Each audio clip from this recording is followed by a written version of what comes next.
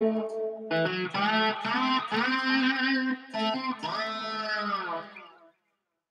pretty good. Yeah, gotta admit. Sounds good over the phone speaker, man. Yeah. Yeah, we the phone. So Yeah, same, same. All right. I see two people watching, but do you think that's us? People, when you're watching, just comment. That's right. uh, Let's see. Well, I set it to be at 11. I wonder if I can see and stuff. Chat live. Yeah, we'll see if we'll see who logs in. But uh since you're both here, here some people are coming in. Oh, hello, Bootzilla82. Cool. So let's um let's start with actually talking about something we didn't touch on in like the how to Holdsworth thing, which is like some tone stuff. Because I'm I'm assuming you guys uh have your own ways of doing it. So I. I was reading a little bit, like let's like starting with like lead tone. Um, you know, I know that like he sets his amps real dark. Like, do you guys do that? How do you sound? like the EQ. Let's see. So this one I have here, uh, the gain is on like 7 Mhm. right? The bass on seven, mid is like halfway, treble's like seven. Uh, that's the EQ. That's all the EQ. Because I was I was reading a bunch of stuff where it's like you know on the on the Yamaha amps, like the presence and treble are like on one or two, like super dark. right so like whole thing is is you have to eq things based on like what you're working with because the closest i ever got to his tone was with like this the ibanez that i played that c minor thing on Yeah. uh, it was like a $75 pawn shop guitar uh, it was that 410 fender deville and it was a Tubeman plus from the 90s and a 21 or a gsp 21 pro from the 90s right? And then so I like matched his tone on None Too Soon, right? so I intro to countdown and I just looped it. I just EQ'd until I got it to sound like that, right? Then when I got my Holdsworth guitar, it was too bright, right? So I had to re EQ things based on that guitar you know, mm-hmm. because it was EQ'd for my Ibanez, which has different pickups, different wood. It's not chambered, right? So there's like all these things you got to think about. Uh, but the other thing that you always see, man, is like everybody like, oh, you need a magic stomp, you need this equipment, you need that, all this money. The stuff that I matched his tone with the best on was the cheapest stuff there is, you know. So it's not really about expensive equipment or anything like that. It's just about your ear and being able and the equipment that you have and being able to get the equipment you have to sound as close to that if that's what you want to do as you can you know Yeah. Don't.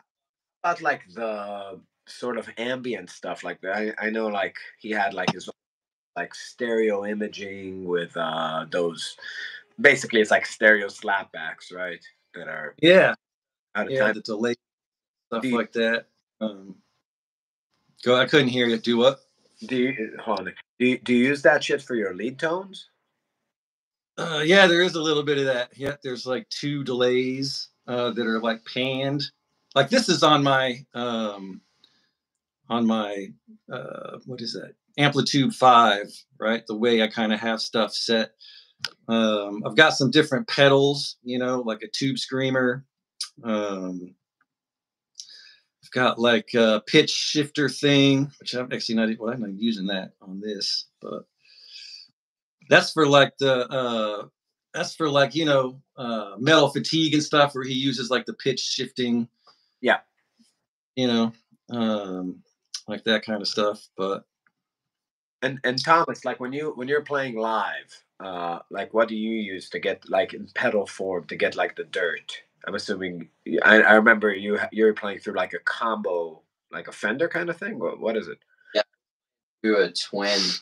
Um, it was actually uh, man, it's an amp called a Vibrosonic, which is basically a twin, but instead of two twelves, it has one fifteen. Okay. Uh, same circuit. it's basically a twin. But dude, I've always it's literally changed all the time. The the overdrive pedal I use. It used to be just a tube screamer, and then for a while it was like a BB preamp.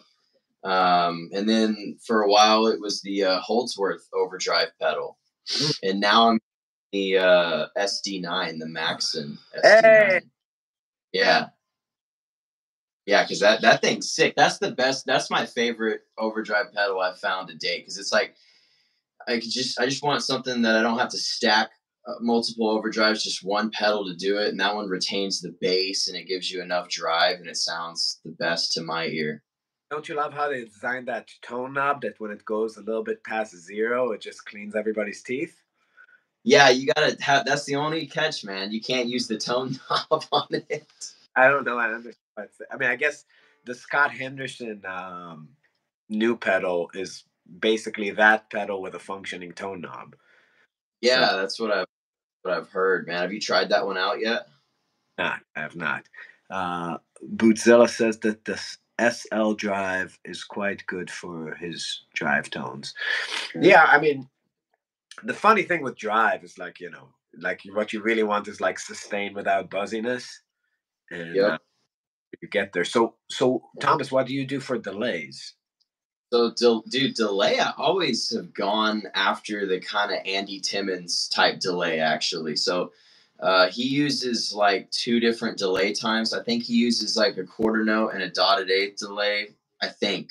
Um, what's up? It's it's like a chim chim chim chim, that kind of thing. that kind of thing, right? And um, I know Holdsworth does different stuff, but to me, that delay sound is pretty killer, and it gets you in the vibe uh, of that kind of Eric Johnson-y clean sound and stuff like that. I love it, but I've also been experimenting with uh, doing two different delay times. One super short delay time that almost just doubles and thickens the note, and then a longer delay time, and that sounds super Holdsworthian. I've noticed. I think he did that at one point. A second range you're playing with to get the doubling to get the. um, even tell you. I don't look at a specific number. It's just until it like literally just sounds like it's thickening up the note. It's so short, you know. Not hearing like a second attack, right? It's not a. It's like a No, yeah, like- it's not fact. exactly. Like I don't think there's a best, right? Like so somebody's asking like what's the best delay pedal? I don't think there's a. Timeline, Strymon just- timeline. No, I'm kidding. for like Allan's tone, I don't think there's any, you know, like I said, anything that's particularly the best. And like I, you know, I don't have the money to just buy a bunch of equipment, so um, I just work with what I have, you know. And at the time when I matched his tone the closest, like I said, it was uh, all the equipment that I had from the '90s, you know, Yeah. and a pawn shop. like if that doesn't tell you you don't need good equipment, I don't know. yeah, just like that Branford Marsalis quote, right? Like tone comes from how you hear it. You know what I'm saying? Yeah. I, Yeah. I really do believe that. Like how you hear tone in your head is kind of what ultimately ends Yeah, up. you have to coming have an expectation of the sound that's coming out, that's going to come out Yeah. too, you know. One hundred But Nobody wants to hear that though. yeah, nobody wants to hear that. They want to know what's the secret Well, pedal. dude, I will say the Yeah. uh, the Allan Holdsworth uh, J Rockett overdrive pedal that they don't make anymore. That's one of the best overdrive pedals I've ever heard ever, man. that's like good. it destroys. It's like a super transparent overdrive. It destroys like the Klon. It destroys all that stuff. It's amazing. I don't know how it's not more popular. I mean, everything Allan put out, you know, just got discontinued, right? But that overdrive pedal is incredible, man. It's like clear but sustaining. Uh, Yeah. The only thing I don't like sound I like, I have to push both buttons at the same time. I use like the uh, overdrive and the boost. Yeah, the boost. So I, I, that's the sound I like, man. Because when you hit the boost, it gives you a little bit more overdrive, and it just it's just enough for the notes to pop out and sustain. But it's clear. It's amazing. It's Why why one of did, the best.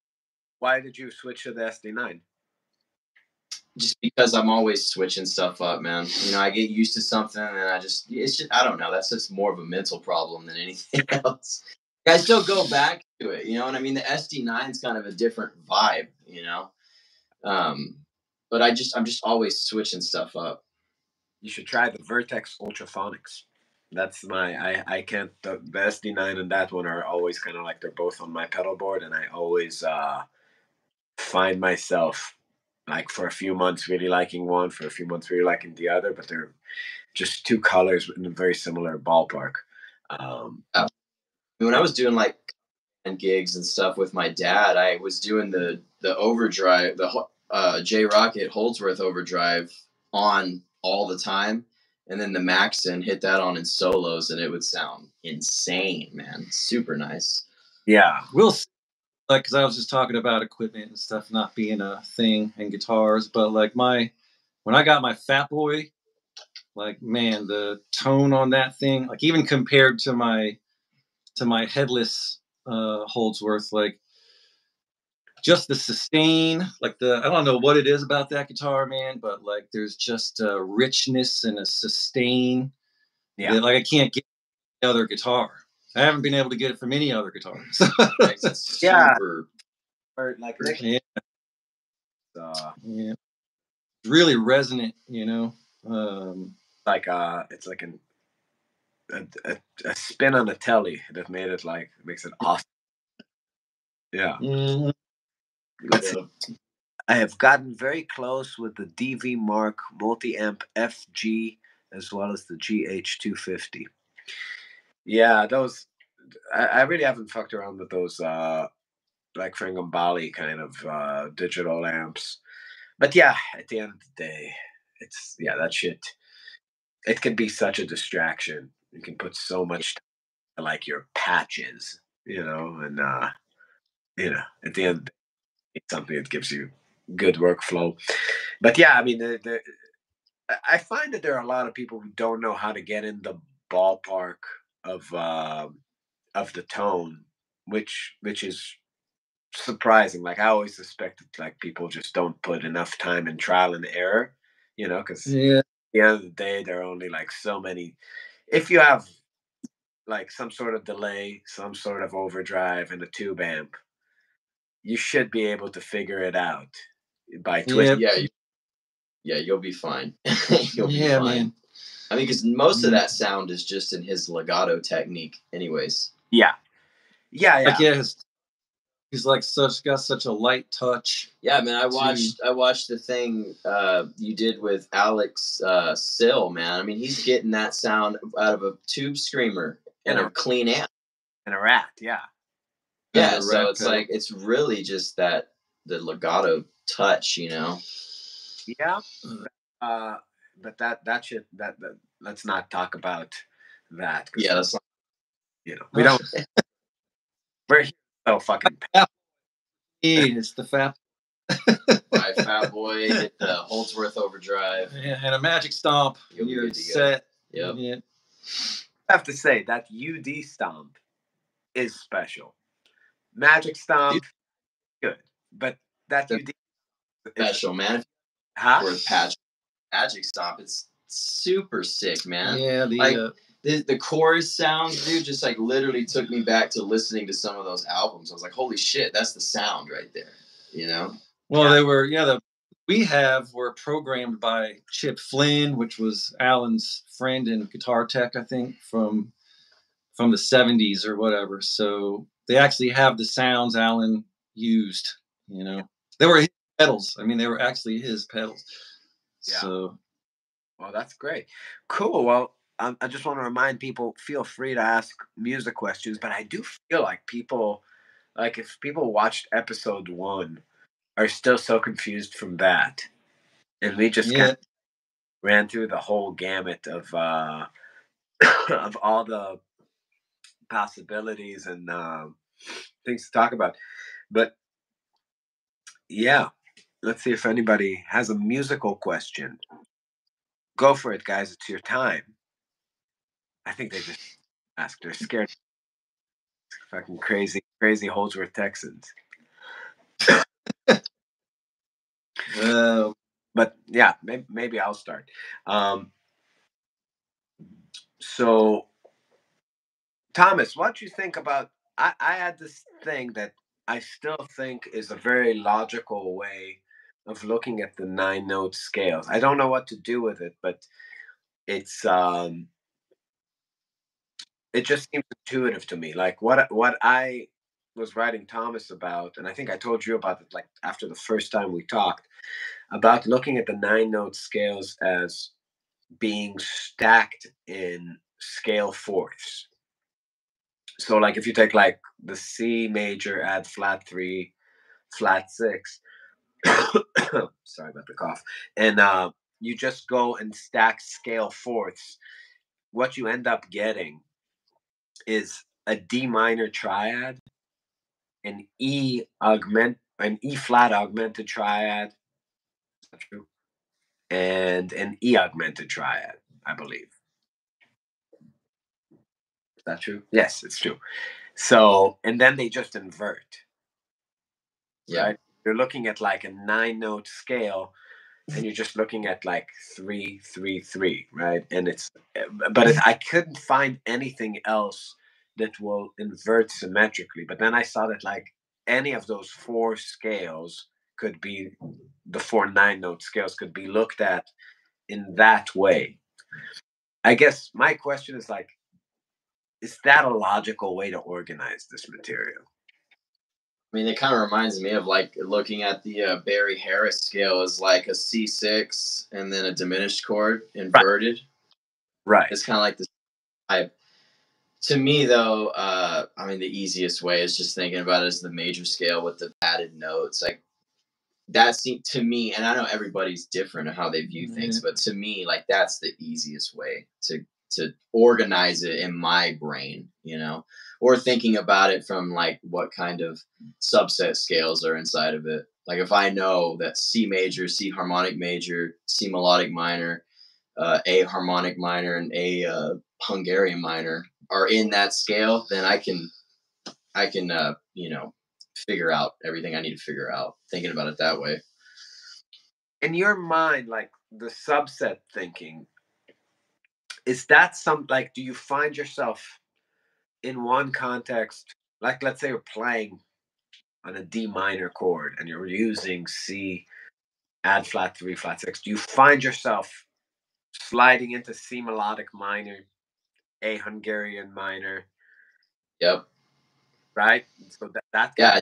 actually Do it with seven notes with like they're a part of the family Yeah, yeah, totally. Like I, I've, I've found myself doing a lot with like mode three, thinking because like Hungarian minor is a subset of mode three, doing a Hungarian minor thing to highlight a certain sound, and then going into a more augmented sound in a mode three context, and really organizing it, thinking of it as two different things in the same scale. Mhm. okay You know, recently i've actually started seeing two different scale i can see two scales at the same time on the neck like i was seeing uh i was just playing improvising on something and i was seeing the high strings as like uh, one scale and i was seeing the lower strings as another scale and i was able to take these symmetrical shapes and kind of i did it in the in that uh on that track that we did Yeah. whatever yeah so one of the I played on that, I can't remember actually, but uh, what did I do?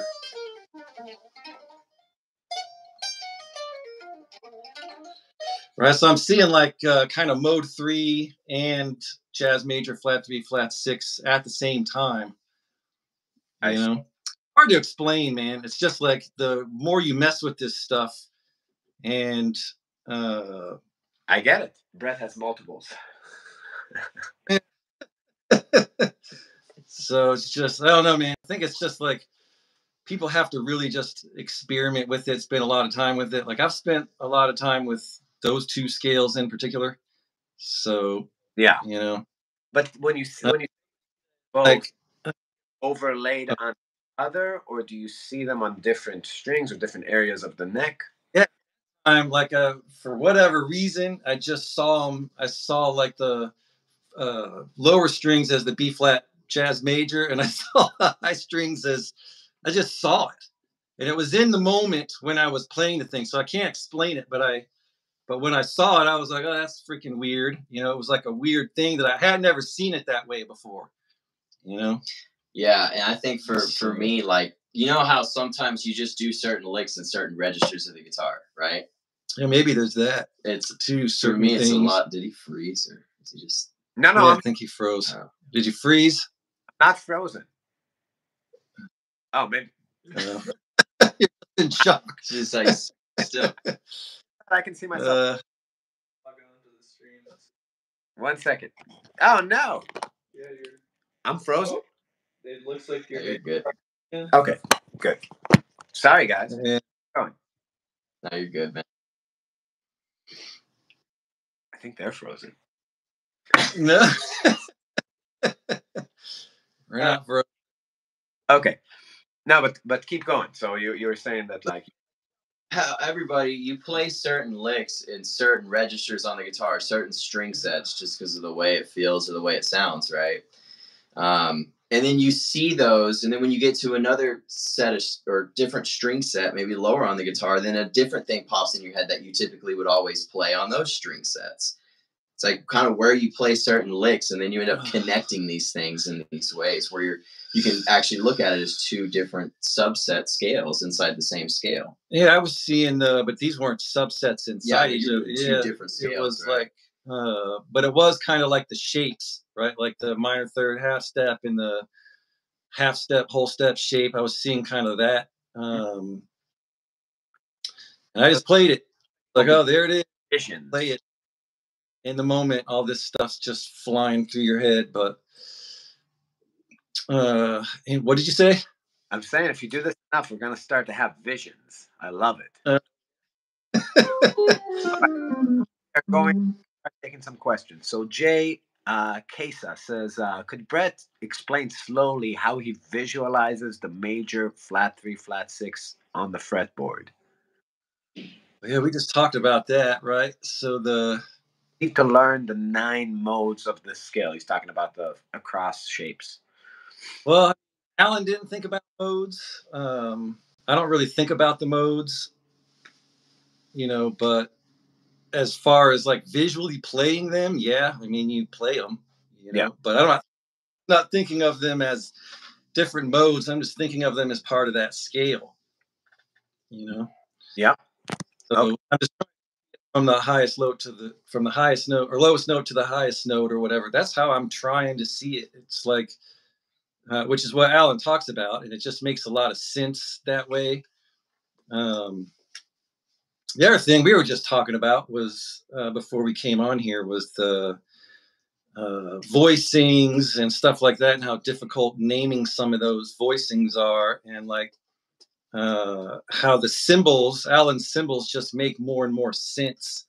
The fact that he did it that way, because you know, as I'm editing the book, like I'm changing some some of the chord symbol names that I had originally or whatever, and like, uh, and they could be viewed either way. Not, there's, it's not neither way was wrong. I'm just trying to make a more clear way to see it, but like they're just really for some of the voicings there is not a clear there's not a chord symbol that represents the chord he's playing. You know what i mean? So it's like you can tell it's just a group of notes. He's just thinking about that symbol and that's that's really all there is to it Yeah. you know? Like you have uh, maybe the bass note you're relating it to and then the scale it comes from and it's just drawing information from there.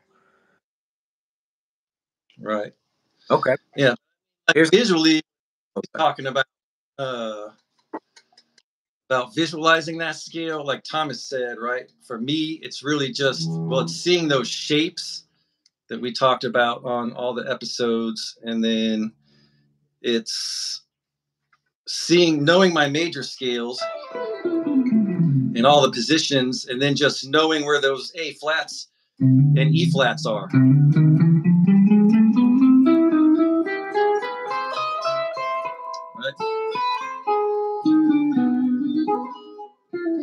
I just see that, that mentality gets tricky for people like if they're if the basis of their knowledge is major scales and like these kind of like across modal fingerings uh the points where maybe they're drawing it from a flat to a flat or e flat to e flat on the fretboard are probably more foreign because you know that doesn't neatly fit inside that kind of vision of the neck right Well, I mean, um, part of the thing could be the, you know, I mean, there's different ways to go about it, man. I mean, you can play all in one position, but you can just play your major scales, you know, the way Allan plays them. Instead of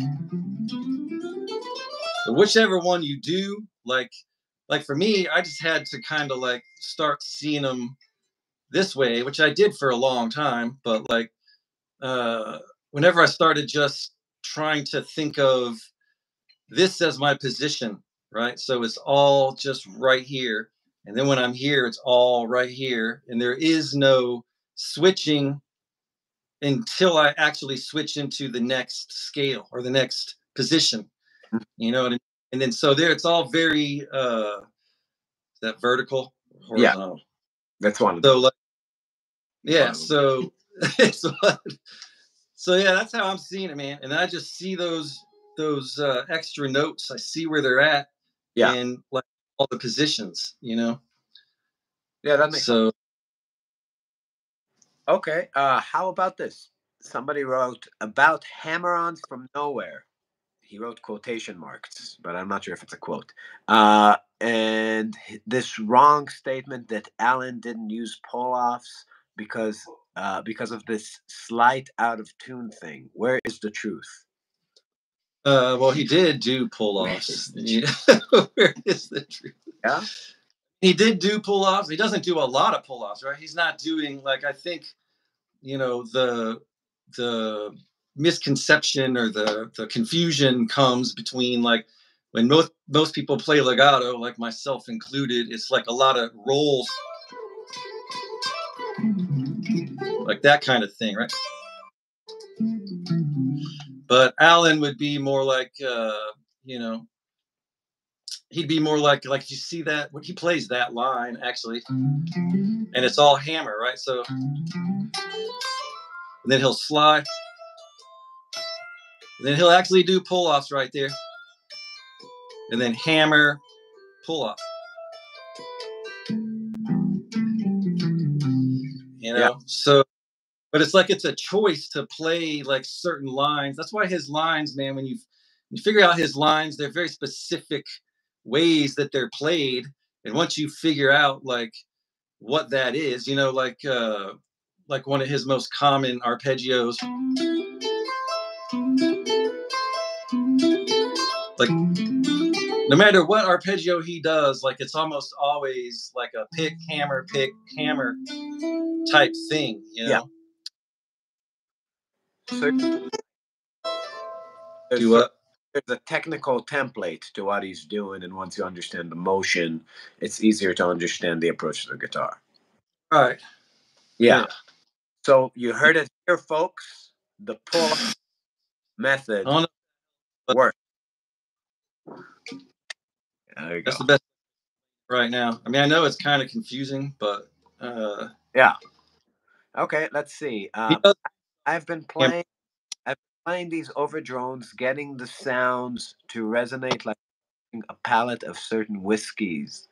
Uh, for certain whiskeys, also certain polychords arpeggios from these scales.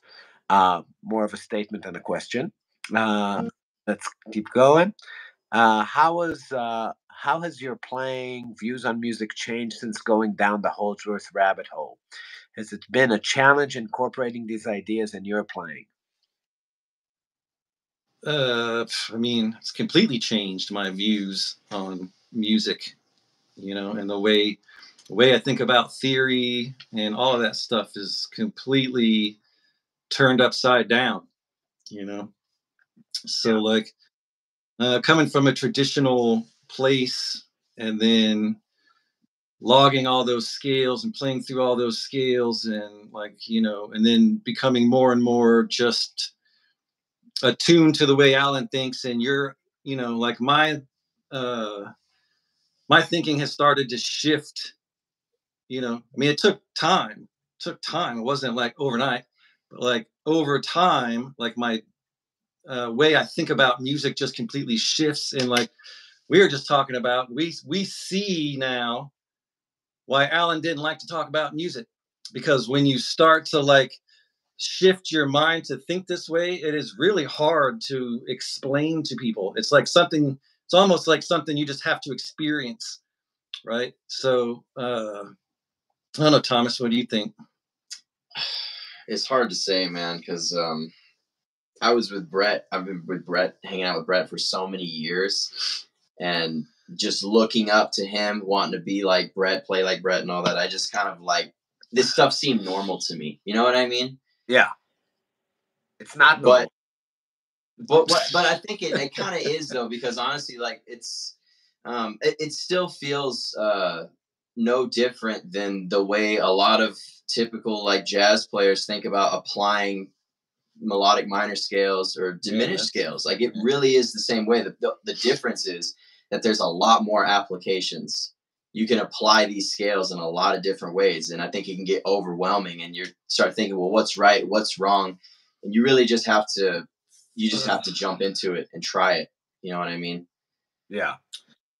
Yeah, yeah like you know uh, so like yeah when you add the e flat to that uh, to the c major scale right and you end up with this chord like an e flat major right uh, and then you play that scale over that I mean, you're playing the majority of notes you're playing are coming from C major. And like that's not a typical scale choice, right? For, yeah. for uh chord. But and it sounds, you know, it makes it sounds out or whatever, even though it's technically not really, but yeah. But the sounds themselves sound strange because it's just it's something that people aren't used to hearing you know? Yeah because you're you're justifying all the notes that you typically think are bad notes to play over chords. Right. Yeah. Yeah. they all they're all related yep. in this way yeah though exactly. in, in this way of thinking. That's one that's one of the things that's so cool about this way of thinking you know and this approach is it just man it opens up so much and like um to actually to actually be able to make those choices and have like a logical reason why you're making it you know what i mean? And having it still relate to that chord even though like thinking c major over e flat major is like not typically you're not going to find that in a theory book. I, I, if i want to get better at this i need to play with new people. I need i need new friends like it because like whenever I throw anything in, everybody looks at me, and uh, like you know, it's like Danny, like he has this look that gives me every time I try to put it in, like he's just like listening to my soul, and he goes like, you know, gives me like a sigh, and very very hard to concentrate with what you're doing, and I find that now I'm like looking up to see if he's looking, if anybody's looking at me. It's it's really corporate, like you know, our music just has, it's so much like so many homoerotic moments in it with triads in one key that it just this stuff pops up like real hard again. But yeah. uh and know. but I mean, you know, that's what I like to hear that though, you know. I mean, that's what there was a quote by Allan too where he said he likes to to uh, play things that make people want to pick up the needle and back. You know, it was an old interview. Obviously, he's talking about vinyl, right? So you hear something, you go, "Holy shit, what was that?" and you rewind it to hear it again. you know, because it was it's not just your typical choice, you know, or sound that you're used to hearing. Well, okay. Uh, let's take more questions. Can you ask them what type of patterns, approaches, ideas would Allan take if he was playing the pentatonic blues scale? Yeah, so like uh, uh, most of the time when he plays pentatonic, there's an added note, right? So like uh, it's either going to be like the flat five, obviously, so it's blues scale, or he'll add the flat seven. There's a lick in uh, I don't remember it though. Well, there's that one, right, which is from the drums yellow. Yeah, but then there's I don't remember it, but there's a line in. Uh, what was it? I don't remember it, but there's a line in the drums are yellow that's like F minor pentatonic. But it, yeah, I think that's it. Yeah, that's it. Yeah. Uh, you do after that. And like, Thomas was just working on that that. solo, so he should have that shit together. Uh, I mean, he plays typical blues licks sometimes. Yeah, he does sometimes, and then sometimes it's like Like he's played that. You know, a lot of times it's like straight up the like the pentatonic, but then he'll add like a note. So it's like, uh, but you can tell he's kind of thinking pentatonic and Dorian ish type things, you know, Yeah. So, Nice. normal way, A real but nod then working man. do what? Like a nod to the working man. Yeah. dude, it is. It is. There's usually an added note in like, you know, most of the time when he's playing it somewhere in the line, there's going to be like an added major seven. There's going to be like a, you know, a ninth added or the six or Yeah. flat five, you know. But- I think the question was about fingering and patterns. So like with pentatonic, he like the first string. so, yeah, I mean, there's. So yeah, he will do some Right. stuff like that. Yeah, three note per string At pentatonic. a three note per string type thing. with the string, Uh, so do what? with the string skipping a lot. Yeah, with the string skipping. But there's not really as much of that as like you might think. Like really, when he's playing pentatonic, like most of the time, it's like that kind of. Yeah. Or he does. that Line Thomas was playing where it was like, uh, you know, it's got like a more intervallic kind of vibe to it, you know, but it's still just the pentatonic with the added note. All know? right.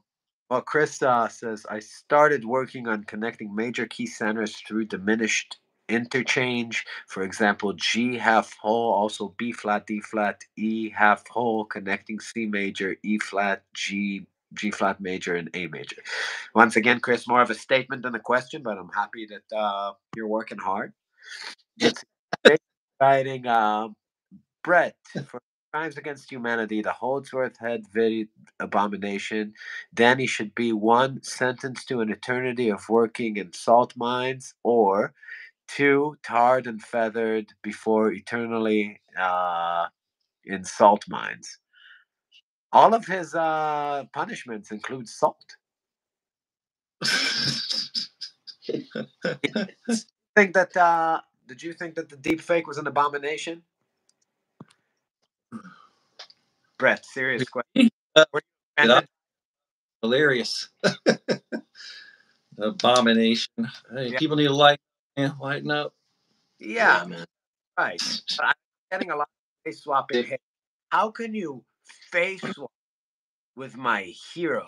And then I've I tried to explain that it's not. I didn't actually take his face, um, but you know, uh, Like the off, man. yeah, the, the the internet folk that get off- being offended must be so tiring. You know, Yeah. like just by your phone.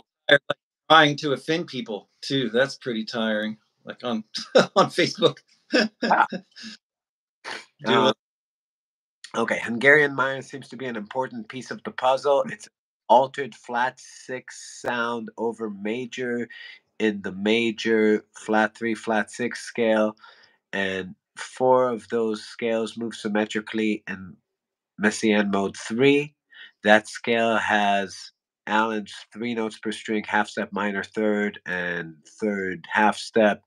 That subset scale seems to be crucial. Is that scale a major source of lines and phrasing in these larger scales? So the question is, what role does the Hungarian minor play in this vocabulary? All right. Well, uh, as far as Allan's lines, I actually only found just specifically a Hungarian minor once, Really? where there were yeah there were no notes outside of that scale, but um, there's still a chance he was just thinking mode three and just happened to play that. So I just personally like Hungarian Yeah, minor. Exactly. So It just sounds dope. yeah, so Like, that's what it like- is, man. Yeah. Yeah. And when, as a subset, um, I just started using it a lot. you Yeah, know, it like was a, it was another way of visualization. Yeah. Yeah. So what would be like a you know you had to like use your way of just navigating through Hungarian minor? What's like a typical way you'd see it on the neck, or play a line with it? You know, Upper the string and like so uh like in that um in mode three right like i'll see that like there was a line i played in something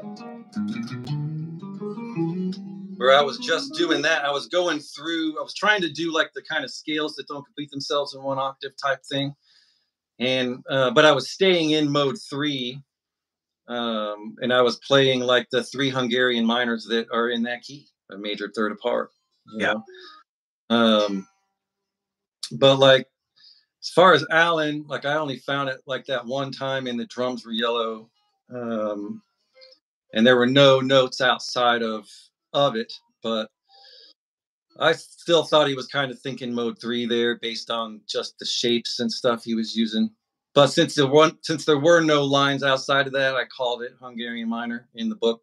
But um, and then when I found subset, like I said, I just started messing with it more. I don't know, Alright. Thomas, you got minor stuff. I mean, it goes back to the thing we were talking about where, like, if you think about a certain scale, certain vocabulary just pops into your head, right? I always do lick, which I technically play, it's technically actually E flat, uh, uh, major, add flat, three flat, six, but I'm thinking about it in mode three because it's just one note different. I always do this. And then when I get here, I go.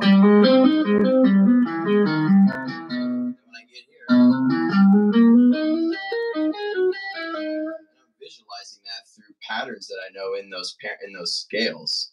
Yeah, and that's So that's minor to and then it goes into a more traditional mode three kind of thing. Okay.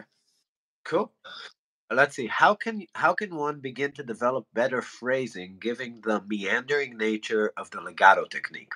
As I see the notes light up, I can't help but grab notes in excess. In X's. Act. How do you say this? I'm, I'm from Israel. Oh shit. Uh, I no. Um, but uh, yeah. So too No, much uh, yeah, excess, excess. like so taking this approach where it's more scale based like this and you're not relying on like the cliches and stuff as much um it is hard you know i mean to not miranda or you know around but like even allan does that on live videos if you watch live videos he's not nearly as melodic on live videos as he is on albums you know like not even close so like uh I think it's just the nature of kind of approaching things this way, but there's also that, and you just get better at it over time. You know what I mean? I mean, you practice hearing melodies. I mean, there's times when um, when I'm working on, I'll put on a chord progression, and I just pro- I prohibit myself from playing like anything but melodies. You know, so uh, no fast lines, no lines that I know already, no shapes or anything like that. I just try to hear a melody through a set of chords, you know. Um, Yeah. You have to, I mean, So- if you melodic, you have to practice trying to play melodic and trying to hear melodies and, you know. Yeah. Also this probably is not the best uh forum for asking how to play less More. all right uh what fingering would allan be using for the fast augmenti sound run at 215 uh what 2.15 i don't i don't understand the question at 2.15 are there three notes um a string sound almost like Eddie Van Halen tapping, but obviously won't be. Reminds me of a Randy Rhoads flying high. It reminds me of Randy Rhoads' flying high. Um, Is he like time stamping a song? so I don't know which. So like, devil take That's the what I was thinking. He's probably thinking that that three note per string augmented Yeah, if thing. it's that, uh, that kind of thing. Can't remember exactly what where he even Oh, plays it, but Peril premonition, peril premonition. Do you guys know? mission. Uh, the only line I can remember from that is this one. Uh, Oh, dude, yeah, I think I know what he's talking about. No, Doesn't he do? I don't remember, but I think he does like straight up augmented triad on one string, Oh, the show. right? oh is- yeah, which is a hell, and he moves it major thirds, which is like a crazy stretch, man. Yeah, he does that, and the drums are yellow. Then there's a line in uh, one of my favorite lines that I probably can't remember. I need 24 frets.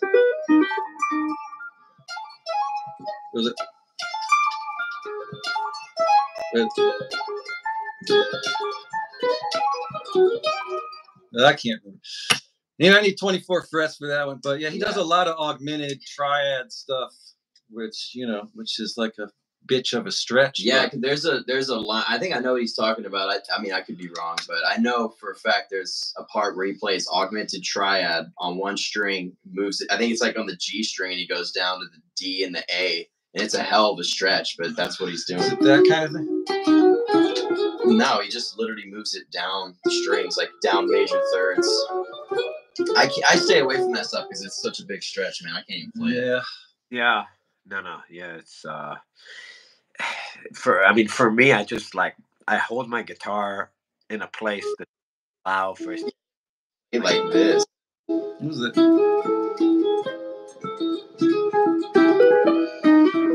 Now, uh, now we're just noodling around. Yes. way to do it. Um Uh, it has yeah, he's saying that's one of those pick up the needle moments.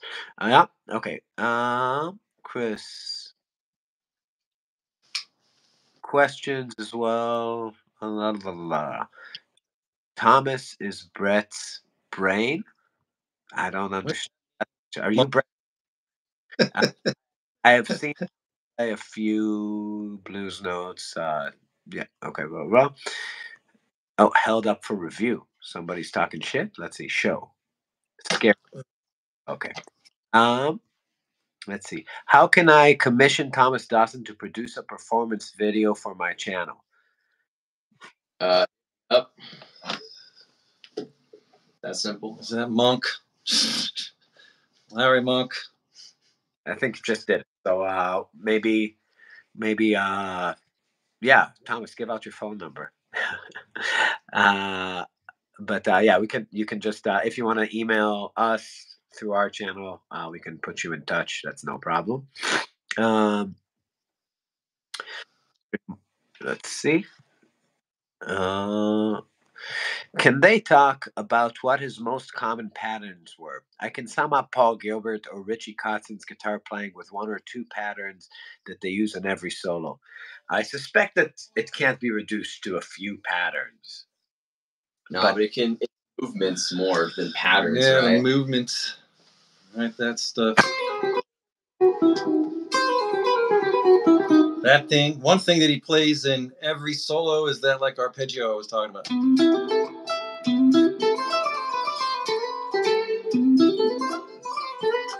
He plays that in every every solo. Yeah. Right Yeah. on major any sort of like uh major key type stuff because it's coming out of the major scale. So, but like that, and then like uh, you know that kind of thing.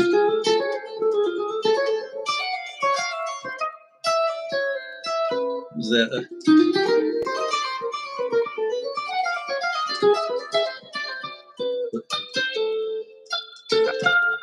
I can't remember it. But anyway, those are like typical things.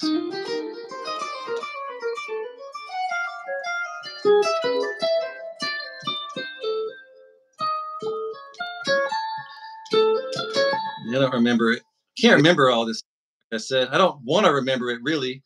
I, It's I, like uh, like I wanted to learn the stuff. I wanted to figure out where the where the where it was coming from. What scales was he using? Where's this harmony coming from? And then I want to let it go, man. Like you know, but you won't let me. No, So- guy. you're- guy. What, what, it's like, you know, you figured it out. Now uh now now you gotta live with it. yeah. Can't just go back improvise. Can't go back and play my own shit. Nope. Uh, what does goat lick, goat lick mean, by the way? Uh, I think it's referring to the greatest of all time. it's more of an English question than uh, than uh, Holdsworth's question, but there you have it. Uh, how did you guys get the legato side of things feeling natural? I guess for a player who's a few years, there's a fair bit of uh, retaining involved, right? I mean, I think this was way this is way more natural for for you guys that's put in the work. Like, like for me, I can you can I can totally see how um, for a player who um, who doesn't approach the instrument this way, this could be like a battle on a lot of fronts, right? Like, Yeah. if, like have a, a heavy right hand or something like that. It's really really hard to. First- I mean, for me, it's like I've been playing legato way before I ever uh, got in. Really, I was already playing. it. That just was natural for me. So, and I was around, you know, my brother and Derek Taylor. Like my brother is a big picker, right? He's always picking is really natural for him, and he could just blaze picking all day. Like he'll never practice his picking, and then he'll shred your face off, you know. But like uh, and Derek Taylor was like the opposite, where um, he couldn't pick very well, but he could fucking legato your face off, you know. And so, like me being around those two, um, I kind of gravitated more to Derek Taylor because I got a little bit of both, but like, uh, I mean, I had there was a period where I where I did a lot of picking and stuff, but that was something I had to to do all the time to maintain it. Whereas legato, like I cannot do legato for weeks on end and then pick it up and do it. You know, it's Yeah. just like it's all. That's just me. I don't know about Thomas. Uh, so for me, it was kind of I gravitated towards it because I just actually started naturally doing it. I couldn't really pick every single note, and I would naturally start to add in hammer-ons and pull-offs and think and to get things at faster speeds, and it just felt natural. Um, and then when I got into the Holdsworth thing, that's when I really started trying to just really not pick as much. You know, if I'm playing three note per string, pick once per string and stuff like that. But I think one thing you can do that's really revealing is, uh, you know, put the metronome on and try to just play a scale, eighth notes, whatever, triplets with just the left hand, just the strength of your left hand, no pick, and see if you can keep it in time and keep it even. And I feel like that's super revealing and it really shows where your left hand's at.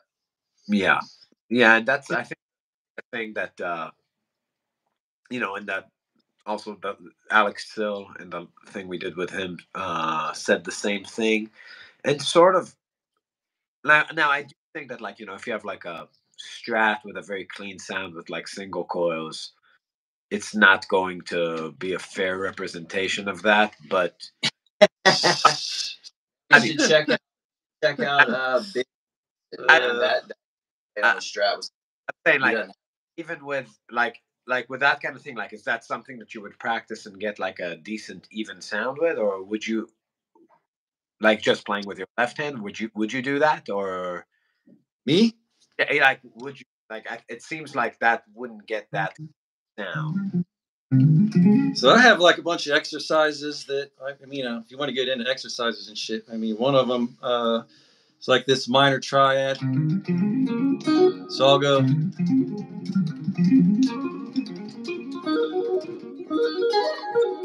Just moving a triad in fourths, and I have like this pattern. This is like a stamina exercise that I give to students and stuff.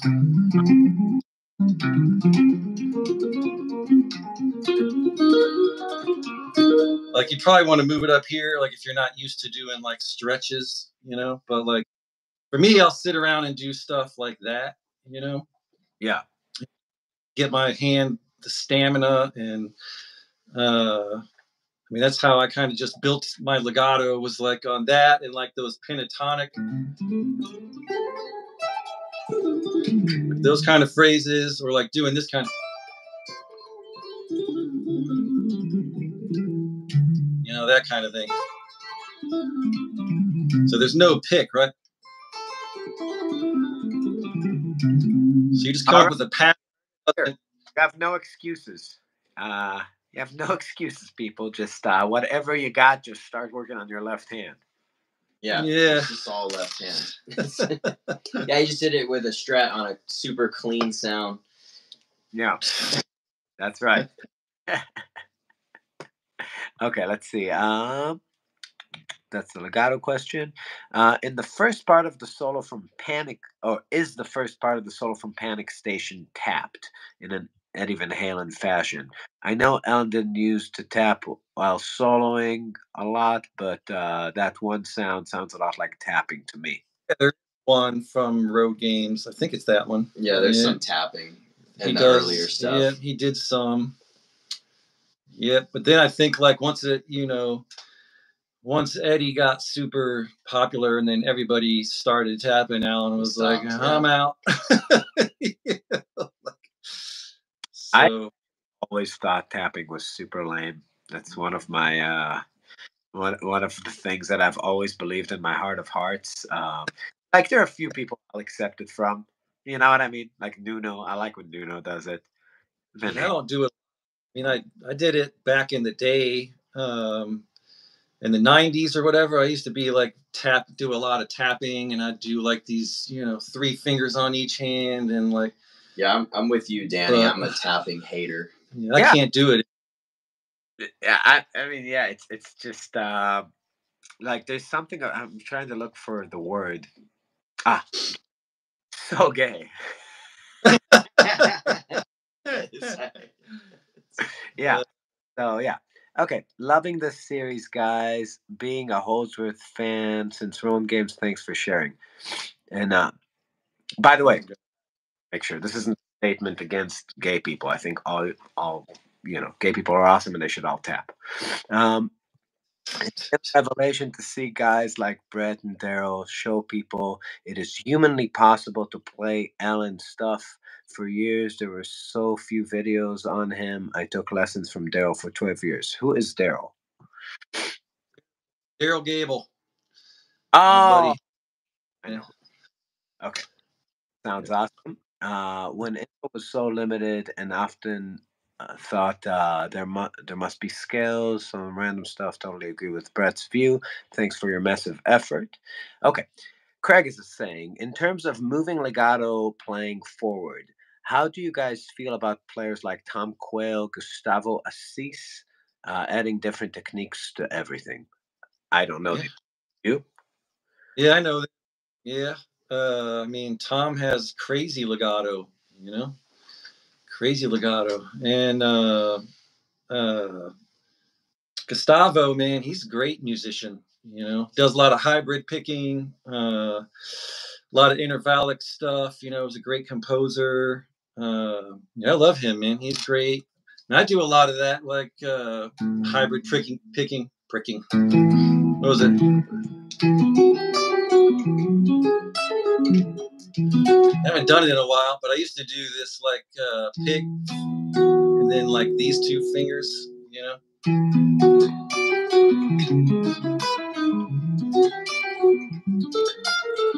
Need to work on it. Yeah. Used to do that type of stuff a lot. I just haven't. Like I said, I man, I haven't had time to work on shit or play in like a few years, really. Yeah, well, I did write like a twelve hundred page book. Yeah, I had to do that. I took up all my freaking time. Still, Yeah. Um. So I think there's a question for me. How been how's it been adding the Holdsworth stuff inside of Gypsy Jazz? Any new ideas? Yeah. Um. I actually have come to the conclusion that you probably shouldn't do it. Uh, you know the kinds of situations you find yourself in playing gypsy jazz uh, at the Four Seasons uh, and shit like that. Uh, you know, it's not really what the gig is about. That, but yeah, I don't. I, I was. I'm constantly now. It's. I'm. I'm. I'm nowhere near like you know your guys' fluency with this, obviously.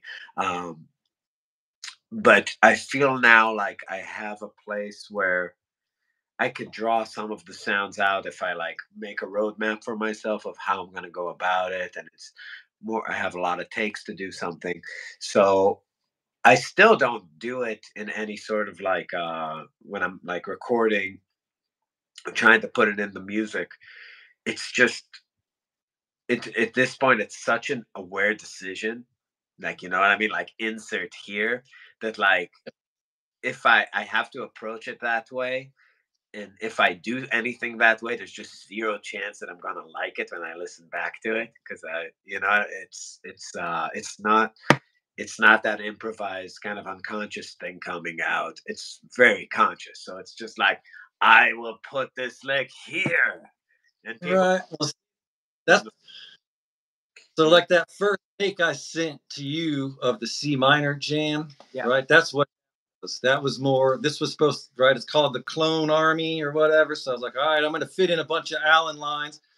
So I had like you know some of my stuff too or whatever, but like I threw in a bunch of Allan lines in that one, and then every time I listened back to it, I was just like, even though it sounds shredding or whatever, but like I was just it didn't have that thing you're talking about.